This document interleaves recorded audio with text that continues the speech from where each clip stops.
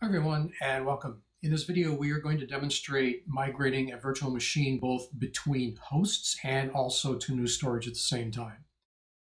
I've already got a session open into vCenter. Going to click on my VMs and templates view and we're going to be working with CentOS from lib for this one. We can see that if we look at the resources it is on host ESXi02 and shared VMFS data store.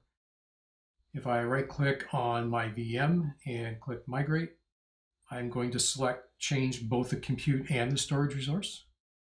Click next. We are going to select ESXi1 as our host and we are going to select iSCSI storage or iSCSI data store for the storage. Click next. It's going to stay on the production network. Next high priority, and finish. We'll let that go. This will take a couple seconds since we are moving from one storage volume to another. And once that's done, we will see that we have now migrated between resources.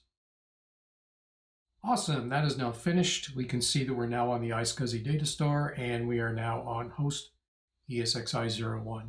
So wrap for the video. Hopefully this has been helpful for you and we'll see you next time.